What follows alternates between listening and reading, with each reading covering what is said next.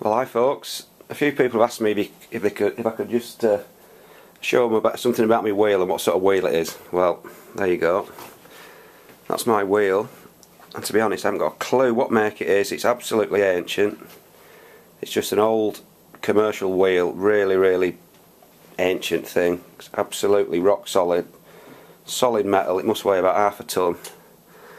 And it is pretty limited in its capabilities, to be honest. I'll just show you, I'll turn it on. And as you can see it's that old. It needs a bit of a push start. So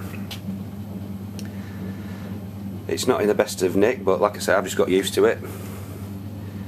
And the thing is you get used to the, the, bit, the bit that you get used to in part of a wheel is this bit I find the sort of gallery around it because you get used to where your arms are resting on the uh, edge of the wheel. So anyway I'll just show you how you change speed on it. None of these fancy little toe controllers like extra fine sensitivity. It's a big a big ratchet thing. And you just push it down to whatever speed.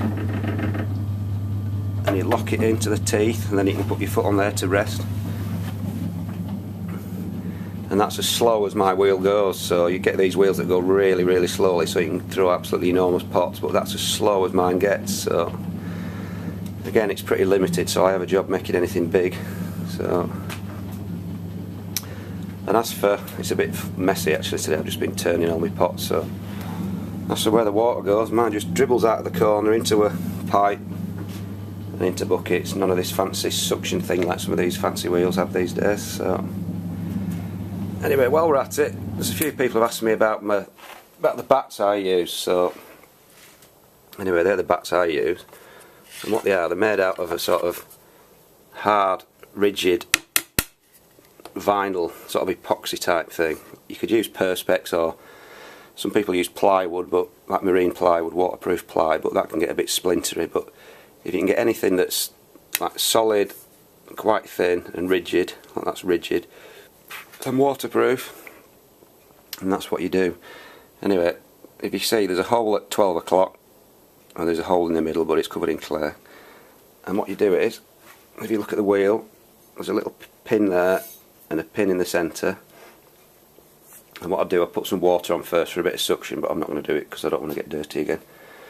And just line the hole up with the peg in the middle and the suction of the water and that keeps your pot on keeps your bat on sorry. So then you throw your pot and then the next day you can just put your pot back on and turn it, trim it, whatever you want. So it saves you having to cut off direct from the wheel head and risk sort of squashing your pot when it's really soft. So that's the bats I use. And that's about it really. It's my ancient decrepit wheel. It just goes to show you can you don't need the the most up to date stuff in the world to throw some pots. So it's just a matter of getting used to any wheel you can and finding the one that's best for you and to be honest I'm quite happy with this so that's it